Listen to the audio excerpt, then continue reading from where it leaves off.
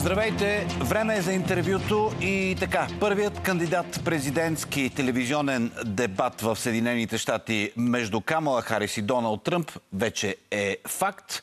Тази вечер наш гост, макар и от дистанция, е международният анализатор Мартин Табаков.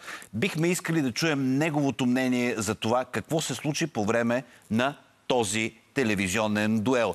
Здравейте, господин Табаков. А, много трудно е да се измери точно кой спечели и кой изгуби дебата, но съгласен ли сте с коментарите зад океана, че Харис проби стратегията на поведение на бившия президент, като го върна към а, болезнените за него теми, обвинения, съдебни процеси, предизборната му кампания и като че ли успя да стопи дистанцията, спечелена от Тръмп с раняването и изправенето на онзи митинг?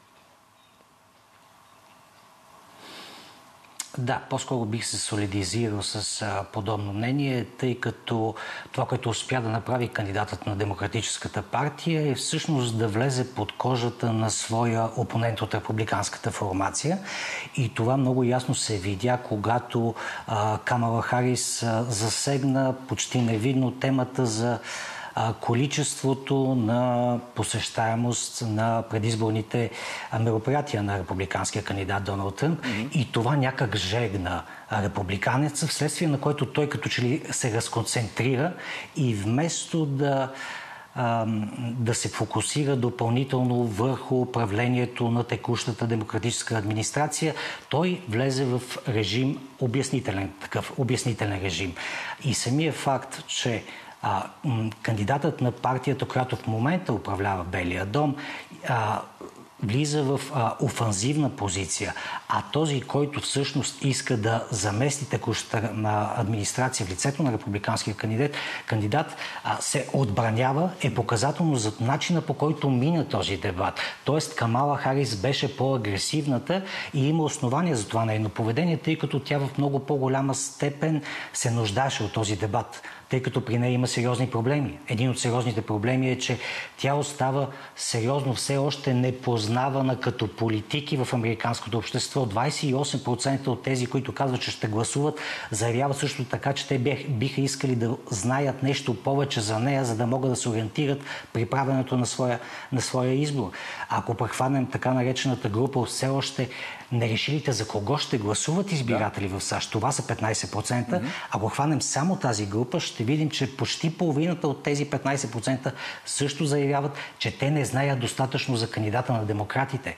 И за това този дебат беше важен за Камала Харис, защото тя трябваше да представи допълнително себе си, този път в по-широка публика, такава, която има демократи, републиканци и от независими избиратели. Докато при Доналд Тръмп, между прочим, е по-лесно, защото а, в е своята добре изключителна масовост американските граждани, да, той е да. много добре разпознаваем, да. известен и пословичен, без значение дали с добро или лошо за американските граждани. При него го няма този проблем на неразпознаваемостта, какъвто го има при Камала Харис. Обаче, обаче гласоподавателите чуха ли нещо ново и важно за тях по големите за Америка теми? Економика на страната, все по-тежкия живот там, абортите, много важна тема. И разбира се, темата на темите е мигрантския наплив, за да решат кой от двамата е по-близо до тях, за кого да гласуват. А всъщност нещо много по-скоро не. А, и това е един от пък проблемите от друга страна за републиканския кандидат, защото Доналд Тръмп продължава да говори едно и също нещо, но обърнете внимание на едни и същи хора.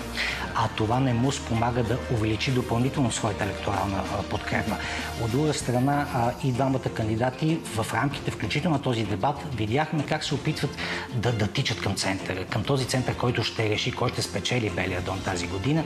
А, и вследствие на това а, виждаме как а, и двамата се опитват да, да, да, да, не, да се ревизират някои от своите предишни по-радикални политики. Между прочим, случай с Камала Харис е особено пословичен, защото а, тя се отказа от редица свои а, политики и по отношение на защитата на границата на Съединените Американски щати, и по отношение на, фракинга на, на природен газ и така нататък. От друга страна, Доналд Тръмп пък от няколко месеца насам а, се изказва изключително умерено по отношение на право на абортите, да, защото това също е тежка тема, особено за републиканската партия. Така е. Умереният тон очевидно ще бъде нещо ново в тази кампания. Благодаря ви. Ще ви видим и на изборите. Лека вечер до 22.